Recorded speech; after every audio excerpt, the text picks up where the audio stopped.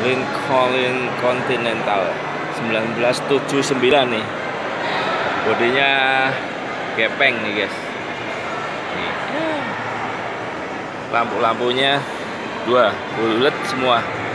Nah, ini. ini jarang ada sekarang.